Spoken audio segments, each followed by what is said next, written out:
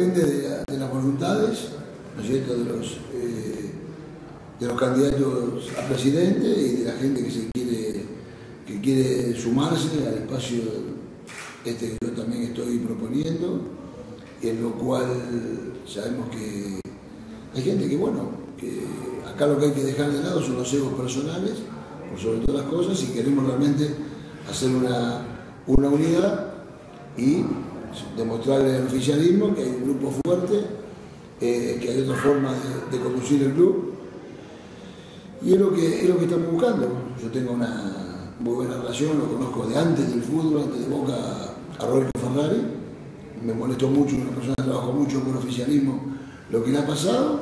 Y bueno, mantenemos conversaciones y coincidimos en muchas cosas. Y bueno, es bueno esto para ir tratando de, de ir cerrando acuerdos con la gente que realmente quiere, quiere lo mejor para Boca. Nunca lo he visto en la cancha, nunca, no tiene historia en Boca, por eso tiene, creo que tiene cinco años de socio, manos tiene, y aparte, bueno, eh, nunca lo he visto tampoco por, la Boca. Sé de su historia política por lo que me cuentan, y, he charlado con él tres o cuatro veces, eh, cruzándome en algún eh, a mi entender, sin ningún sin ninguna crítica ni nada personal, creo que no, tiene, la, no tiene la experiencia en la historia como para estar al frente de la presidencia de Boca. Mira, uno, uno de los, eh, realmente, no los métodos, sino el, placer que me da es hablar con los socios, directamente los llamo por teléfono, más allá de todas las reuniones que hago, porque creo que, o sea, la queja general eh, del socio de Boca, del hinche de Boca, es que se siente un cliente, no un socio, es que entiende que el club está cerrado, es que entiende que las cosas no, no están claras mejor las entradas, que pasa siempre el problema, como ha pasado la última vez un partido en Córdoba con Tigre, que Tigre seguía vendiendo entradas el domingo a la mañana y de acá estaban diciendo desde el jueves que no viaje eh, la gente de Boca porque no había más entradas, en Córdoba se seguía vendiendo entrada al hotel de Boca. Y, bueno, entonces creo que el socio está, está cansado de eso y, es lo que realmente busca, busca, cambiar, busca cambiar esto, porque sabemos que no solamente esto, sino que el socio está cansado de no haya vida social, el socio está cansado de los fracasos deportivos, el socio está cansado de, saber que tiene que viajar del interior eh, y cuando llega acá no sabe con qué se encuentra.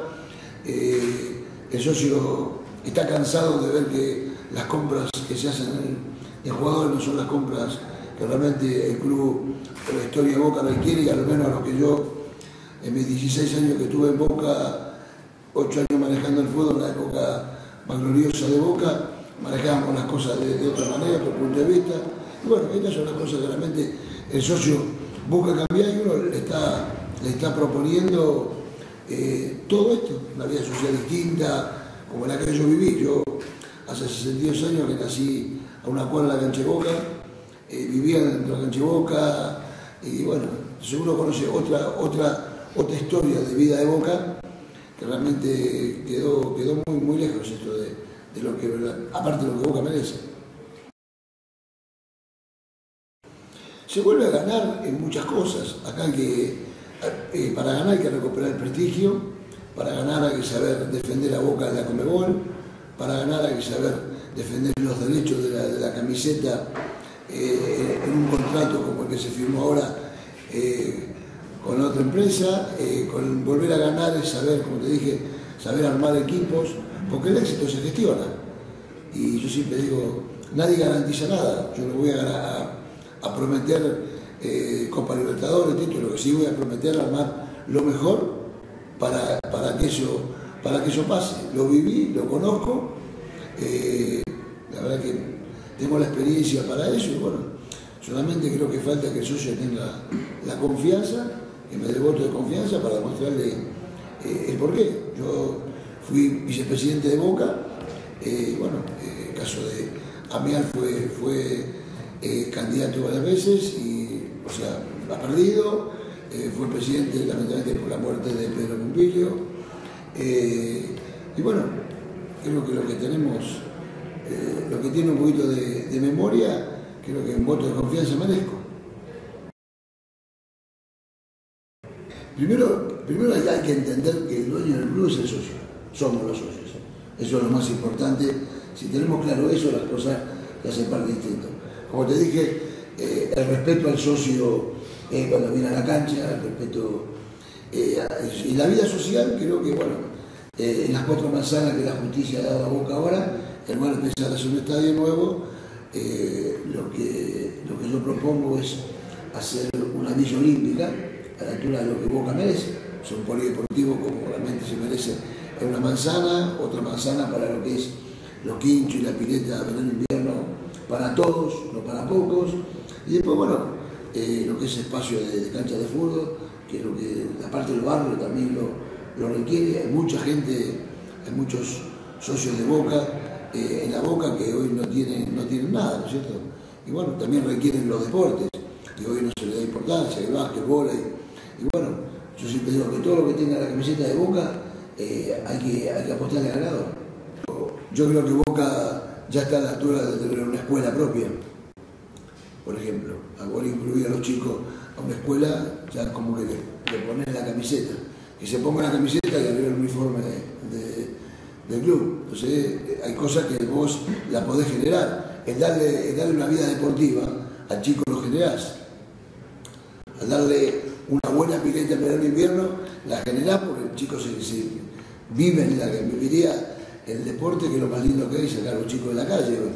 O sea, vos vas generando esas cosas, eso se gestiona. Así como el éxito en el fútbol, esto es lo mismo. Esto es gestionar un éxito en la vida social. Por Boca está manejado como una empresa.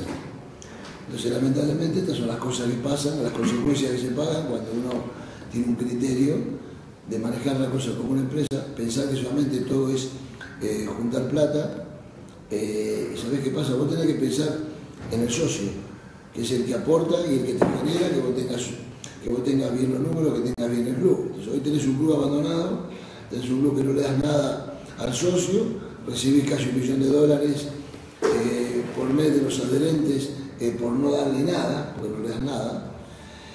y, no te preocupas, no te preocupas por qué darle al socio. Para alquilar un quincho le cobras a un socio que durante tres meses de diciembre en el febrero que tiene fútbol paga 7.500 pesos, eh, la pileta de los chicos del barrio de la Boca, sabes cómo significa, y lo cobras, y por otro lado estás generando plata de la nada. Como te dije, José Arendi, firmás contratos como el que acabas de firmar ahora con Adidas, eh, por mucha plata y jugadores que tenés en un balance activado por mucha plata. O sea, eh, que un padre vaya con dos chicos a un partido y tenga que pagar una hamburguesa y una, una gaseosa, tenga que pagar 300 pesos ¿Pero por qué? Porque vos generás un canon alto, es una cosa lógica, eh, el, que lo compra va a, ponerte un canon alto. O sea, el valor es alto. Entonces, si vos pensás en el socio, es preferible que el socio tenga la tranquilidad, que vaya y gaste en el club, pero que gaste algo razonable. Lo que tenga que pagar, lo que no, lo que no corresponde. Y así son muchas cosas, así son muchas cosas, que también se, se malgasta la plata. Porque Boca no tiene necesidad de estar en un hotel concentrando. ¿Me entiendes? Porque Boca tiene el complejo de 6 que se hizo, el principio era para eso. Y, no, y hoy nada más que el tema de lo que es las inferiores y, todo. Entonces no es así. Se debe manejar como corresponde. Evitamos plata de acá, plata de allá, ¿dónde la enfocamos? Eso es lo que pasa. Y eso lamentablemente lo que Boca es lo que digo yo por, por por, la mentalidad de tener un club como una empresa, eh, pasan estas cosas y vos no, pensás, no pensás en el socio. El jugador o el técnico que no quiere ir, bueno, no es un problema de ellos. Hay muchos clubes que concentran en sus instalaciones y no hay ningún tipo de problema. Al contrario, vos estás en un lugar muy lindo a 20 minutos de la capital federal, ¿cuál es el problema? Con todas las comodidades que puede haber. Bueno, entonces son cosas que por un lado ahorras y por otro lado le sacas al socio, le, quitas al socio. No hay que decirle al socio lo que no se puede hacer por, una campaña. Entonces, este proyecto Lovero es el único proyecto viable, con una ampliación de 18 a 20 mil lugares, en lo cual, eh, con las 19 casas rentistas que se compran, se puede utilizar el espacio aéreo para hacer, para hacer la ampliación del estadio, cerrar el anillo y aparte una estructura totalmente independiente a la que ya eh, tiene, tiene Boca. Eso es una obra de 12 a 15 meses, eh, perder una localidad de 3 meses nada más. Eh, y dentro de este proyecto también hay un corredor hacia Caminito, que es el que va, y también del lado de la vía. Las vías, en ese sector, ese, lateral, está el proyecto de hacer los, las famosas torres con los elevadores para el segundo y tercer piso. Eso es un trabajo inmediato eh, en caso de, ganar. ¿no? O sea, se, podría hacer instante ya la remodelación. Eso sí, y el tema del estadio, bueno, lógico, hay que ganar, hay que presentar, hay que ver en qué fecha conviene, porque hay que empezar a presentar todos. Los planos eh, del ingeniero Carlos Valer con el proyecto Lorena está todo. está todo sí, sí, y también está proyectada la, la ampliación del de, sector K arriba de la popular local, volver a ser popular. No, no, no. Yo al menos, yo al menos estoy, soy muy consciente de que quiero, quiero, quiero la renovación, porque es el templo no, se toca. No me animaría nunca a, decir otra cosa, porque el final de todo eso puede ser una decisión muy de los socios, no, no mía, eh, no lo permitiría, pero bueno, yo nunca dejo. Claro, bueno, cuando escucho, por ejemplo, se escucha mucho, que, es una idea que parece que, nace de cierto sector del especialismo Ahí cree que ahí es cuando ustedes tienen el revés, ahí es cuando pueden ganar porque están tocando creo que lo más sagrado que tiene el hincha boca, que es su casa.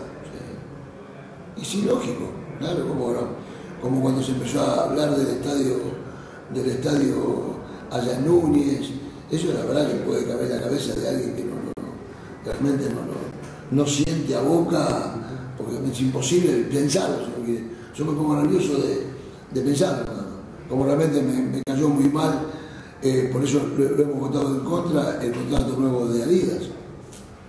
Eh, porque creo que realmente creo que Boca no merece compartir nada con, eh, con River y menos darle la posibilidad a River de igualar un contrato que nunca tuvo tan alto como el de Boca. Entonces ahora estamos igualando un contrato y compartiendo y compartiendo. Esto no es cuestión de marca de la camiseta, está claro, ¿no? Para mí no tengo ningún problema con una con otra. Lo que el problema es, digo, yo hablo de asociación, de asociación de Boca, lo que Boca ha generado. Porque yo realmente, por, la, las plata, por 20 millones de dólares en 10 años, que de la diferencia, yo creo que no justifica nunca el tener que usar lo mismo, lo mismo que River y aparte, y aparte peor que eso es generar la posibilidad a River de incrementarle el canon anual por la ventaja que, que tiene Boca. Más que nada como hincha de Boca jamás permitiría que nadie venga, Boca. Lo que sí, lo que sí considero que está muy, muy mal manejado es el caso con Conmebol.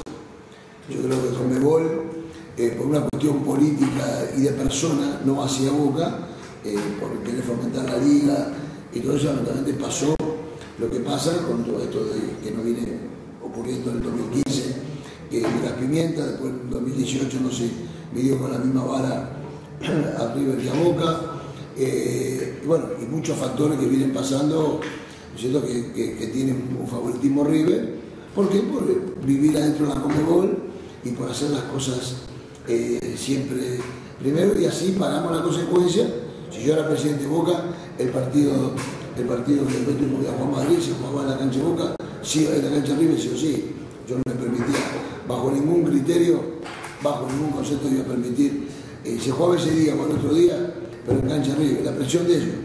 ¿Siente que no hay peso o que hay una enemistad con Comebol? Ya, Alejandro Domínguez, NM, Balazzi y todo Es un mal manejo, es un mal manejo. Yo digo que el problema no es, no es, no es con Boca, es un tema personal que lamentablemente está Boca en el medio. Y Boca está pagando la consecuencia de una mala relación. Ese es el, el, el peor problema. ¿Y cree que esa relación se puede recuperar, que el, trato puede cambiar? ¿O ve que va a ser algo que va a costar mucho? No, no, yo garantizo que se cambia, porque siempre fue así. Yo me la pasaba mucho tiempo también en la Comebol y no iba a pedir nada regalado. Yo iba a la Comebol a decirle que eh, las cosas, eh, quiero lo justo, lo justo con la boca, nada más, no quiero que me regalen nada, pero tampoco quiero que me perjudiquen.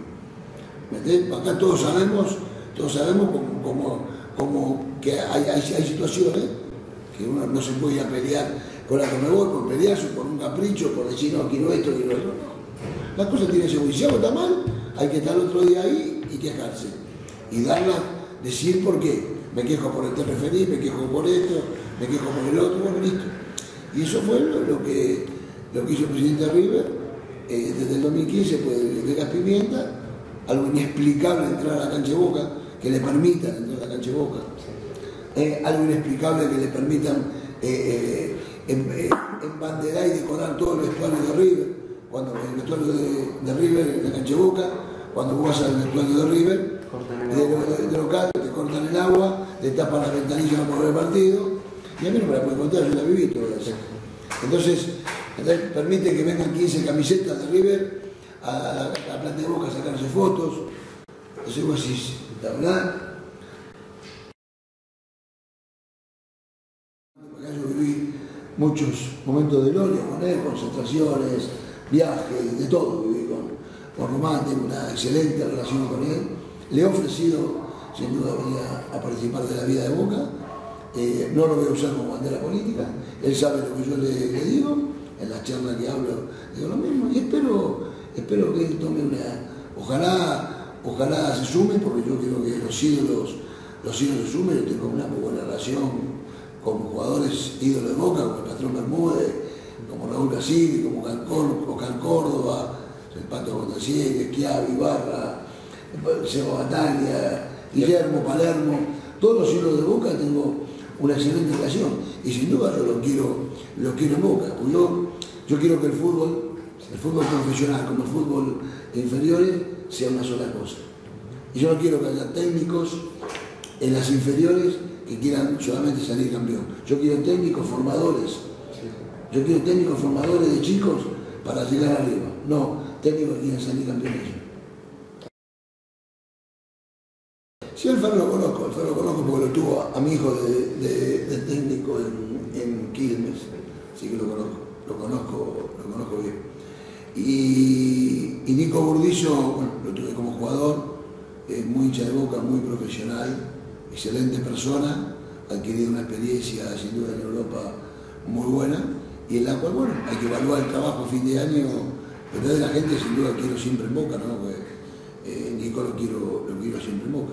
Y Alfaro, siempre digo lo mismo, yo mientras, mientras sea lo mejor para Boca, no me interesa el nombre. Eh, pues me puede o no gustar, a lo mejor no es el técnico que yo elegiría para Boca, pero a mí lo que más me interesa el 26 de noviembre es estar festejando la Copa Libertadores y la semana que queda ocuparme de ser presidente de Boca. Le digo al hincha de Boca que tenga confianza, que me dé el apoyo del voto que sabe que está hablando con un postero de, alma, alguien que conoce bien el mundo Boca eh, y que voy a hacer lo mejor, voy a tener 24 horas full time para Boca. Así que por eso digo, entre todos, esto lo hacemos entre todos, eh, vamos a demostrar que hay otro Boca, el Boca ganador que todos queremos. Muchas gracias.